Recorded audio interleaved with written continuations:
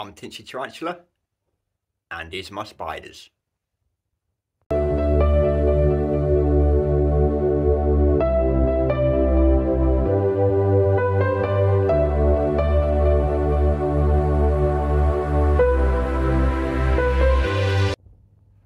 everyone, welcome back to the channel, and it's been a while, or a minute, since we did an update video on the planted Tanganyikan tank. I've got big plans for this tank next year. And currently, we've got tons of babies, hence why I'm not really touching this plank uh, much at the moment. But I'll flip the camera around, show you what's what, and talk for the plans for next year.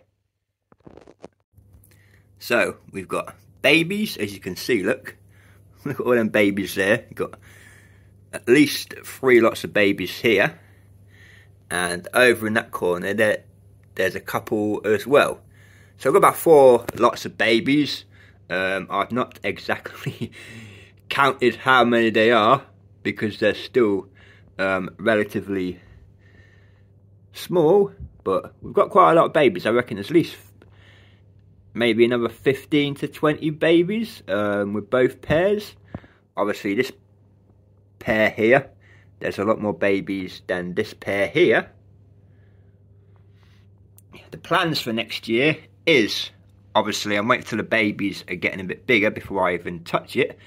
But the plans next year is getting rid of the white sand, completely getting rid of white, and going for a massive bag of orange play sand. So we're definitely getting rid of white um, complete brand new sand form, which will be orange. Just um, something a bit different because I found with the white sand, um, some of the fish are white and the colours don't really pop that much on the white. So you've got a whitish one there, but then you've got some darker ones.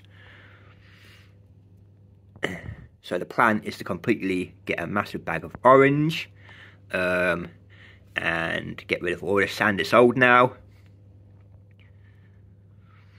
Obviously, I've got a box of reef rocks and stuff down here um, that I'll be adding more plants to, possibly more epiphytes, so like Anubias, Java ferns, a couple of bits of old rock.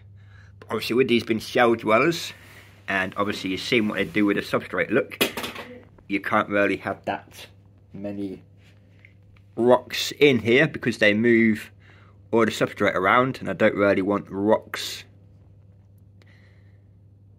smashing onto the glass and breaking the tank. So there'll only be a few rocks, but as you can see, we've got some Anubias for the time being. But like I said, as you can see, they cover the rocks with sand as well. So, and because these are shell dwellers, and obviously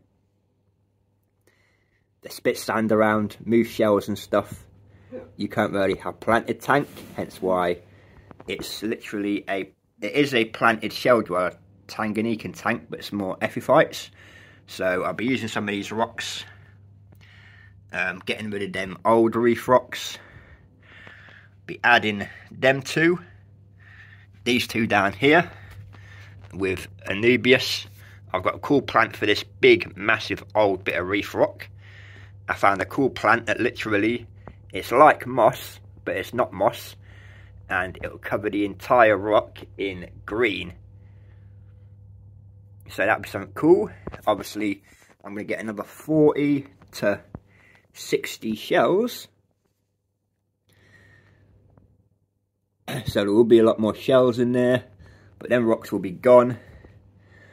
Or the Anubias will be saved and put on set of reef rock there and I've got a cool plant for that one. Like I said that looks like moss but it's not and it'll cover the whole rock in green. Um, orange play sand another 40 to 60 shells and it'll look awesome. But everyone's doing well as you can see but I've not really touched the tank that much. As you can see they've all been digging and stuff. But obviously the babies this generation of babies are actually getting bigger, whereas this generation of babies down here have not long been born. but they're all actually to a size where they're all eating crushed flake food, which is good. They get a combination of crushed flake food or rotifers. But as you can see, these babies are awesome. There's so many. But I will do a cinematic in a minute, but I thought I'd give you an update and the plans for next year. Obviously, it makes sense to do it next year as well because the babies will be a bit bigger and I'm getting new carpet in the front room so it'll give me a chance to completely empty it. Um, store the store the fish in a bucket with a heater and a pump um, for a few days while I get the new carpet laid and get all the sand out and stuff. So it's ideal to do it next year once the new carpet's laid.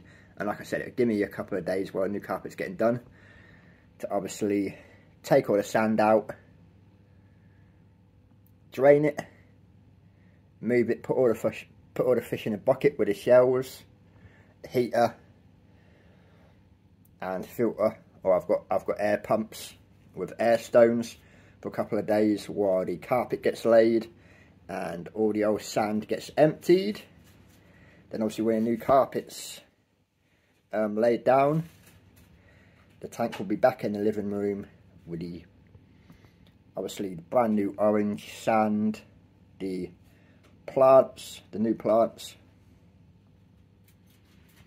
and the new shells. So that's the plans going forward for this tank next year. and the tank will be back in the living room. But as you can see, like I said, all the babies are doing fine. And we're actually going to give you a cinematic in a minute, but I thought I'd give you an update on what's what.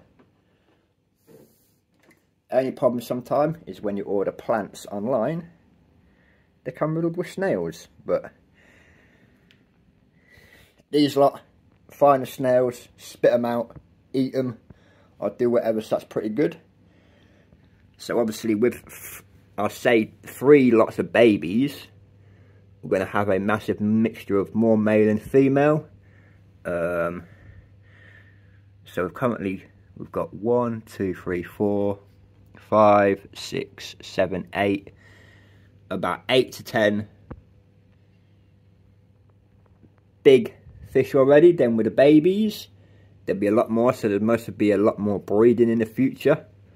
So it'll be good once these babies obviously filled up, or should we say grown up to, and while the new carpet's getting laid, get tank emptied, get the new orange sand in there, put the rocks in there with the new plants and just give it an awesome upgrade. So that's the plans, but we're going to do a cinematic in a minute and we're going to feed them. So I hope you enjoy the cinematic. And like I said, obviously once all the plants are sorted on the new rocks, I'm going to start actually adding a bit of plant fertilizer um, just for the epiphytes to grow.